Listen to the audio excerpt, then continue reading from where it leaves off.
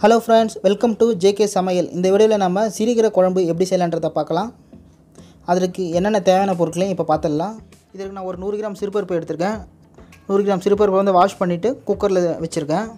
கீரைன்னு பார்த்தீங்கன்னா ஒரு கட்டு சிறுகீரை வச்சுருக்கேன் மூணு தக்காளி இரண்டு வெங்காயம் ஒரு முழு பூண்டு நாலு பச்சை மிளகா ஆயில் மூணு டீஸ்பூன் வடுவம் ஒரு டீஸ்பூன் பெருங்காயத்தூள் கால் ஸ்பூன் கடுகு உளுத்தப்பருப்பு கால் ஸ்பூன் நாலு வரமிளகா வெங்காயம் வந்து கொஞ்சமாக எடுத்துக்கோங்க தாளிக்கிறதுக்கு. நம்ம கட் பண்ணி வச்சுருக்க வெங்காயத்துலேயே கொஞ்சம் வெங்காயம் எடுத்துக்கோங்க. சின்ன துண்டு புளி தண்ணியில் போட்டு ஊற வச்சு வச்சுக்கோங்க. சால்ட்டு தேவைக்கேற்ப. இப்போ இந்த பொருட்கள்லாம் வச்சு நம்ம சிரிக்கிற குழம்பு எப்படி செய்யலான்றதை பார்க்கலாம். இப்போ குக்கரில் நூறு கிராம் சிறுபருப்பு எடுத்திருக்கோம். அந்த சிறுபருப்பு கூட நம்ம ஒரு கட்டு கீரையை வந்து நல்லா க்ளீன் பண்ணி வச்சுருக்கோம். அந்த க்ளீன் பண்ண கீரையை வந்து குக்கரில் சேர்த்துடலாம்.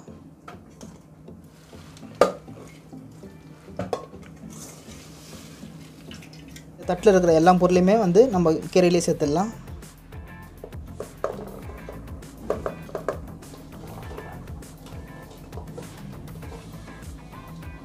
நம்ம இதை வேக வைக்கிறதுக்கு ஒரு சொம்பு தண்ணி வச்சுருக்கோம். அந்த தண்ணியை அதில் சேர்த்துடலாம்.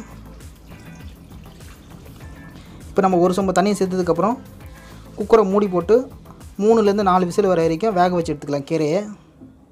இப்போ குக்கரில் மூணு விசில் வந்ததுக்கப்புறம் நம்ம ஏர் ரிலீஸ் பண்ணிவிட்டு குக்கரை ஓப்பன் பண்ணி பார்க்கலாம். கீரையை நல்லா வெந்துடுச்சு. இப்போ என்ன பண்ணால் இந்த கீரையை கூட நம்ம கொஞ்சம் மத்து போட்டு கடைஞ்சி எடுத்துக்கலாம். கடையும் போது வந்து கீரை வந்து நல்லா சாப்பிட்டா இன்னும் நல்லாயிருக்கும் குழம்புக்கு.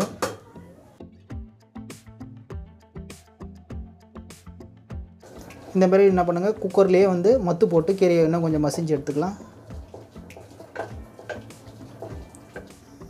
நம்ம பாருங்கள் மத்து போட்டு கீரையை நல்லா கடைஞ்சி எடுத்துட்டோம். இப்போ என்ன பண்ணலாம்? இந்த கீரையை வந்து நம்ம குழம்பு தாளிக்க ஆரம்பிச்சிடலாம். அதுக்கு என்ன பண்ணுங்கள் ஒரு பேனில் நம்ம எடுத்து வச்சுருக்க ஆயில் சேர்த்துடலாம். ஆயில் கொஞ்சம் சூடாகட்டும். நம்ம எடுத்து வச்சுருக்க கடுகு உளுத்து பருப்பு சேர்த்துடலாம். அடுத்தது நாலு வரமிளகாய் எடுத்துருக்கோம். அதையும் சேர்த்துடலாம். இப்போ கடுகு பொரிய ஆரம்பிச்சிச்சு. வடுவும் எடுத்து வச்சுருக்கோம். வடுவத்தையும் இப்போ போட்டு தாளிக்கலாம். நம்ம வடுவும் போட்டு தாளிக்கும் போது எல்லா வகையான கீரை குழம்புக்கும் வந்து நல்லா சூப்பராக வாசனையாக இருக்கும். அடுத்தது கொஞ்சோண்டு வெங்காயம் எடுத்துருக்கோம். வெங்காயத்தையும் போட்டுடலாம்.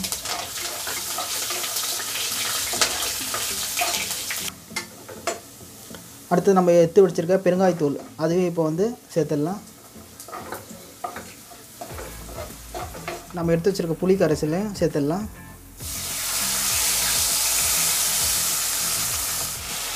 இந்த புளி கரைசல் வந்து ஒரு நிமிஷம் வரைக்கும் கொதிக்கட்டும். இந்த ஒரு நிமிஷம் கொதிக்கும் போது அந்த புளியில் இருக்கிற பச்சை வாசனைலாம் போயிடும். அதனால் ஒரு நிமிஷம் வரைக்கும் புளி கரைசல் கொதிக்கட்டும்.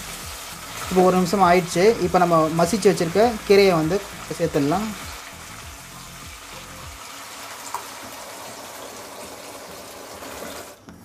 இப்போ குழம்பு கலரி விட்டு ஒரு ரெண்டு நிமிஷம் வரைக்கும் கொதிக்க விடலாம்.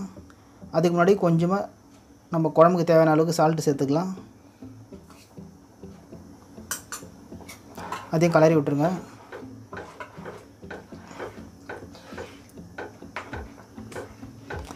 ரெண்டு நிமிஷம் கொதிச்சாலே போதும். நான் குழம்புக்கு எதுவும் தண்ணியெலாம் எதுவும் சேர்க்க போகிறதில்ல நம்ம கீரை வேக வைக்கும் போது ஊற்றின அந்த ஒரு சொம்பு தண்ணியே போதும். இப்போ கொஞ்சம் புளி கரைசல் தண்ணியும் சேர்த்தோம். அதனால் அதுவே போதும். எதுவும் தண்ணியில் எதுவும் சேர்க்க போகிறதில்ல இப்போ மூடி திறந்து பார்க்கலாம். குழம்பும் பாருங்கள் நல்லா கொதிச்சிச்சு. அவ்வளோதாங்க நம்மளோட சிறுகீரை குழம்பு ரெடி ஆகிடுச்சு இந்த வீடியோ பிடிச்சிருந்தா வீடியோ லைக் பண்ணுங்கள் ஷேர் பண்ணுங்கள் நம்ம ஜேகே சமையல் சேனல் இதுவரைக்கும் நீங்கள் சப்ஸ்கிரைப் பண்ணலாம் மறக்காமல் சப்ஸ்கிரைப் பண்ணிக்கோங்க. மீண்டும் அடுத்த ஒரு வீடியோவில் சந்திப்போம். தேங்க்ஸ் ஃபார் வாட்சிங்